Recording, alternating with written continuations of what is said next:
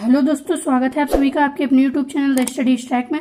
तो जैसा कि आप सब जानते हैं कि आज हम आपको ऐसे सवाल सॉल्व करना सिखाएँगे जिनमें भिन्न का गुणा, भाग, जोड़, घटाना सब कुछ होता है। तो इन सवालों को हम सिंप्लीफिकेशन वाले सवाल कहते हैं, क्योंकि इनका हमें सरलीकरण करना होता है। पूरे को मिला के पूरा एक फॉर्म में लिखना होता है, सरल करना होता है। तो चलिए आज के इस सवाल को करना शुरू करते हैं।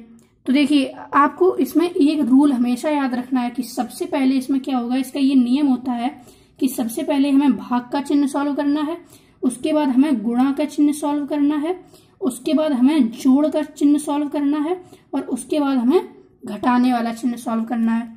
तो चलिए, अब हम इसी आधार पर अपना ये प्रश्न सॉल्व करेंगे। तो पहला रूल क्या है कि पहले हमें भाग का चिन्ह सॉल्व करना है। तो भाग का चिन्ह मतलब तीन बटे छह को आप ढक लीजिए, और ये इतना को ढक लीजिए। तो ये क्या हो गया? अब ये भाग का चिन्ह इतना हो गया तो इसको पहले हमें सॉल्व करना है। तो चलिए इधर आप ये ढक लीजिए और ये भी ढक लीजिए तो आपको केवल ये पता चल जाएगा, ये भाग का है तो इसको पहले सॉल्व करना है। तो देखिए, सबसे पहले क्या करेंगे, बराबर का चिन्ह लगाएँगे। तीन बटे छः को तो हम वैसा ही लिख देंगे, गुणा चार बटे आठ। और जब भी भिन्न का भाग किया जाता है तो जैसा कि आप सबको पता होता है कि जो भाग का चिन्ह होता है, वो क्या हो जाता है, गुणे में बदल जाता है। और जो ये वाली भिन्न होती है, इसका व्युतक्रम हो जाता है मतलब उल्टा छः बटे दो लिखा है तो क्या हो जाएगा? दो बटे छह। ये देखिए, अब ये हमारा भाग का चिन्ह सॉल्व हो गया। इसके बाद आप वैसा ही ये नोट कर दीजिए। प्लस का तीन बटा बारह माइनस नौ बटे बारह। तो अब देखिए, इसके बाद हमारा क्या रूल था कि गुणे वाला चिन्ह सॉल्व करना था। तो देखिए, अब गुणे वाला चिन्ह हम सॉल्व करते हैं। तो देखिए, इसके बाद हमें क्या करना है? गुणा में सबसे पहले हम क्या देखते हैं? ऊपर नीचे जो कटने लायक होती हैं, वो काट देते हैं। आमने सामने आमने सामने नहीं काटते हैं। जैसे चार और दो कटेगा नहीं, ये गुणा होगा, लेकिन दो और छह, ये कट सकता है। चार आठ कट सकता है, तीन छह कट सकता है। और ये ऊपर और नीचे कटते हैं और तिरछे में भी कटते हैं। जैसे दो से आठ कट सकता है, दो से छह कट सकता है तो मतलब ऊपर नीचे कटते हैं। या आप ऐसे ही काट दीजिए, या आप तिरछे में भी इसको काट सकते हैं। तो देखिए, अब गुणे वाला चिन्ह सॉल्व करते हैं। ये है हमारा गुणे वाला चिन्ह। तो पहले हम इतना सॉल्व करेंगे।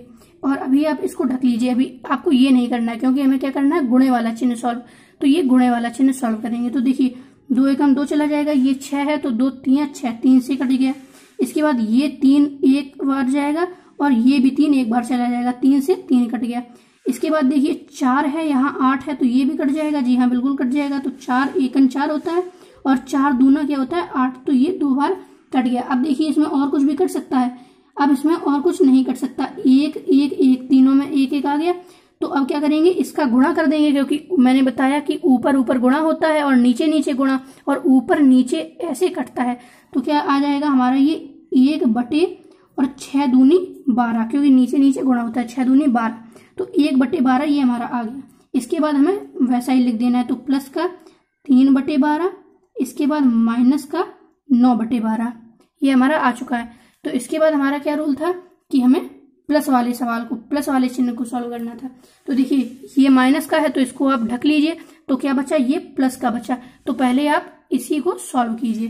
तो देखिए, जब हर समान होता है, जब भी हर समान होता है तो क्या करते हैं कि अंशों को जोड़ देते हैं। और अगर हर समान नहीं होता है तो मैं पिछले वीडियो में आपको ये भिन्न का जोड़ सिखा चुका हूँ।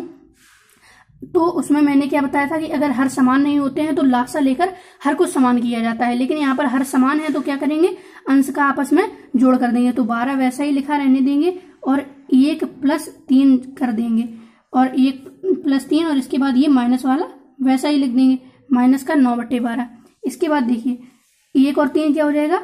चार हो जाएगा। और चार बटे में क्या है? बारह है।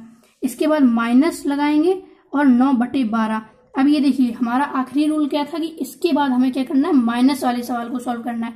तो अब ये जो है वो हमारा केवल माइनस ही बचा है। तो अब हम माइनस वाले सवाल को आसानी से सॉल्व कर सकते हैं। तो यहाँ देखिए, मैंने पिछले वीडियो में जब भिन्न का जोड़ और घटाना बताया था तो उसमें मैंने क्या बताया था कि अगर भिन्न, दोनों भिन्न के हर समान है तो क्या होता है? अंशों का आपस में जोड़ या घटाना हो जाता है। और अगर इसमें हर समान नहीं है तो लाशा लेकर हर समान किया जाता है। लेकिन यहाँ पर बिल्कुल सिंपल है। देखिए, यहाँ भी इसका हर बारह यहाँ भी इसका हर बारह तो जो हर है, यहाँ पर समान है। तो हम क्या करेंगे? डायरेक्ट हर को बारह ही लिख देंगे। और देखिए, चार माइनस नौ, चार माइनस नौ। तो चार में से नौ जाएगा, क्या होगा? ये प्लस का चार है, यहाँ पर कुछ नहीं है। मतलब क्या होता है? प्लस होता है। ये प्लस का चार है, ये माइनस का नौ है। तो प्लस और माइनस क्या होता है? माइनस होता है। तो नौ में से जब चार घटाएँगे तो क्या आ जाएगा? पाँच आ जाएगा। पाँच बटे बारह। लेकिन यहाँ पर ये जो पाँच आया है, ये प्लस का नहीं, ये माइनस का होगा, क्योंकि मैंने यहाँ पर आपको पिछले वीडियो में बता चुका हूँ कि प्लस माइनस माइनस होता है और जिस भी संख्या के और जिस भी चिन्ह के सामने वाली संख्या बड़ी होती है तो वो वाला यहाँ पर चिन्ह आता है। तो यहाँ देखिए कि माइनस के सामने वाली संख्या बड़ी है या प्लस के। तो हमने पाया कि माइनस के सामने नौ है, प्लस के सामने चार है तो नौ जो है वो चार से बड़ी है। तो ये माइनस का नौ है तो नौ में से चार जाएगा तो पाँच। तो यहाँ पर चिन्ह किसका आ जाएगा? माइनस का। तो आंसर क्या हो जाएगा हमारा? यही आंसर हो जाएगा, माइनस का पाँच बटे बारह। तो ये हमारा सवाल था और सॉल्व करके ये हमारा आंसर आया। इसीलिए इसको सिंप्लीफिकेशन कहते हैं। इसका सरलीकरण इसमें करना पड़ता है। जितना सरल हो सके, उतना इसको काट के लिखा जाता है।